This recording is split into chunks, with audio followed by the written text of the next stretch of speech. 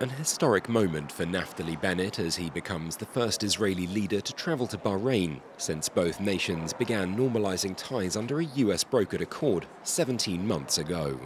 My goal during this visit is to um, inject content into the Abraham Accords uh, in uh, trade, in people to people connections, uh, and on all dimensions.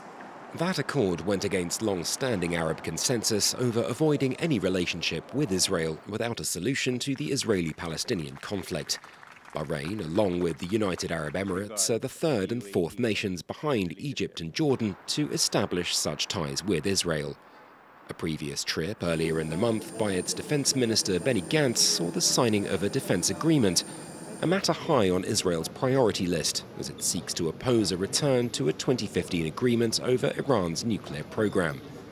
Bennett's government has repeatedly warned that lifting sanctions against Iran in return for it abandoning its nuclear ambitions would leave it with more resources to use against Israel.